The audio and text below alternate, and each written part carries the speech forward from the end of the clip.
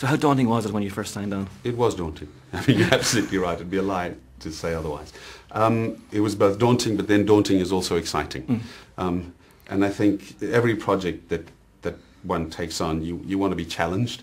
You know, the first time you make a movie, it's daunting because you've never made a movie. Then the first time you make a bigger movie, it's daunting. First time you make a movie like this, it's daunting because there's this, there's this strange um, marriage of action and visual effects and all of that sort of technical, powerful mm. stuff with a character-based story. Mm.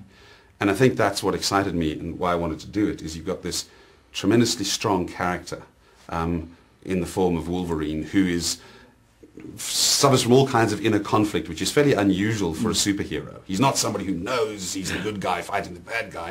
He's a guy who's not sure that he might not himself be the bad guy. And I loved that. Mm. So you got a complicated character-driven piece um, packaged with great action and spectacle.